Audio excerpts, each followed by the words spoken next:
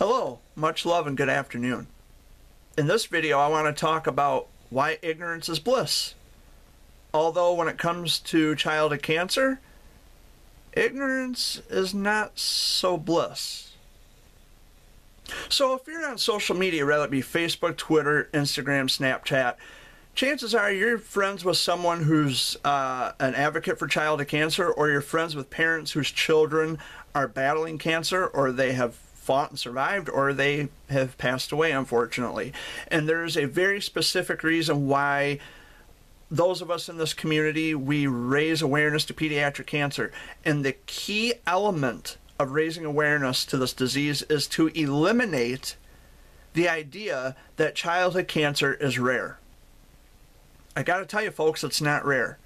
When you take the annual number of diagnoses of children versus um, the number of children who have died fighting tooth and nail to overcome and conquer the disease. How do you incorporate the word rare in the same sentence as that? You just can't. It doesn't make any sense, and it shouldn't make sense to you either. Childhood cancer is not rare, and every time the word rare is introduced in the same sentence as pediatric cancer of all kinds, not just specific cancers, but all kinds, it thwarts the efforts that those of us are putting forth for funding and research with our United States government. Uh, and I, I'm not sure how other countries operate uh, their, their funding for pediatric cancer research. I would have to um, look that up. But I know here in America, only 4% of the federal budget is geared at funding and research for pediatric cancer, this needs to change. And one of the, I, I would dare say the key element, it's not one of the reasons, the key reason that so many of us, whether we're directly affected or indirectly affected, the, the main reason we raise awareness is to eliminate the idea that childhood cancer is rare because it isn't.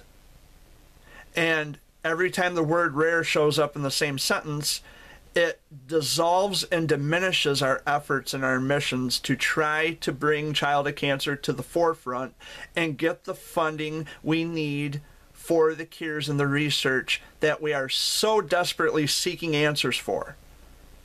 It needs to stop with the rare thing because it's not rare. And the reason I call this video Ignorance is Not Bliss is because once you are made aware of childhood cancer, it doesn't matter if it's in the real world or on social media. Once you are made aware of this disease, that childhood cancer is real, it's not rare. Once you're made aware of this, you can never again say that you did not know. Now, again, and I'm going to talk about this in this video as I have talked about it several other times, whether it be on social media, here on my on my YouTube channel, or elsewhere my parents were also those parents at one time said, not my child. And guess what? They were wrong. Now, it may not happen to your child today. It may not happen to your child, excuse me, tomorrow, next week, next month, next year. Childhood cancer is prominent. And a lot of these parents whose children are, are going through this they were also in the same boat as you until the unthinkable happened. Raising awareness is always important, especially to childhood cancer, because it hardly ever gets spoken about. It hardly gets any media coverage at all. Um, we have certain days that spotlight childhood cancer, uh, you know, the International Childhood Cancer Day and the National Childhood Cancer Day, and then in September we go gold for uh, of Cancer Awareness Month, which is great. However, for people like me, for people like my mom and dad and my family, well, I would have to say my immediate family because my cousins and aunts and uncles and grandparents, they could give a shit less about it.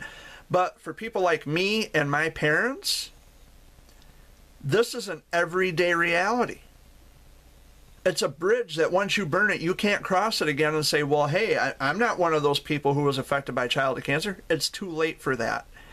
And the reason that I became an advocate, I had taken on the role of being an advocate back in 2013 is because I realized that my story has just as much emphasis in this community as the next person. Although I'm not a child anymore, and therefore, yeah, it's not so cute when you're a grown up. Well, it's not about being cute. It's about introducing my story, my health history back into this community for the hope, for the inspiration, for the education, and for me to say, I am walking beside you in this journey. For me, that's what it's about.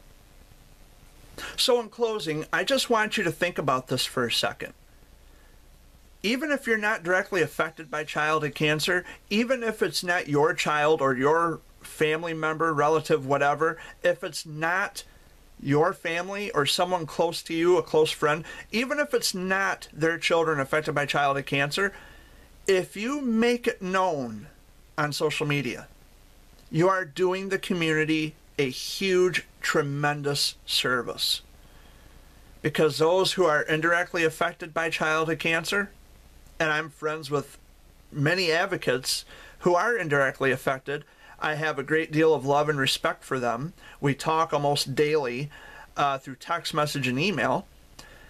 But even if you are not affected by this in a direct sense, sharing a gold ribbon, sharing a meme on, on Facebook or anywhere uh, where, where you're able to do that, you are one more person who's out there advocating for these kids, and we are one step closer to possibly, uh, you know, moving in the direction for funding and research for pediatric cancer, finding cures. That's what it's about. So please, do not hesitate to share those ribbons. And it doesn't necessarily have to be a gold ribbon, it could be a gray ribbon for brain cancer, it can be an orange ribbon or a green ribbon, depending on how you look at it, for kidney cancer, Wilms tumor, um, for all cancers, because each cancer has its own ribbon. It's all color coded, and uh, so share it. Uh, you know, childhood cancer is is one of the things. Like I said, it is very, very unpopular. Whether it be in media coverage, whether it be at a football game, a baseball game, they only spotlight it in September. We, for us, it's an everyday thing. It, it doesn't stop at September this is a, a 24 7 365 a day deal. So please help us raise awareness and eliminate the idea that childhood cancer is rare. We need to take the word out of the sentence out of the equation because it stops us it, it, it, it puts our efforts and our missions to a screeching halt of trying to make this aware so we can get funding and research for cures of childhood cancer. I'm friends with a lot of families and a lot of advocates, both directly and indirectly affected. I love them dearly with all my heart. We talk almost on a daily basis, and I will walk with them for as long as I can until we find answers. Ignorance is not bliss. Once you know about it, you can never again say that you didn't know help us raise awareness. Much love. Have a great day.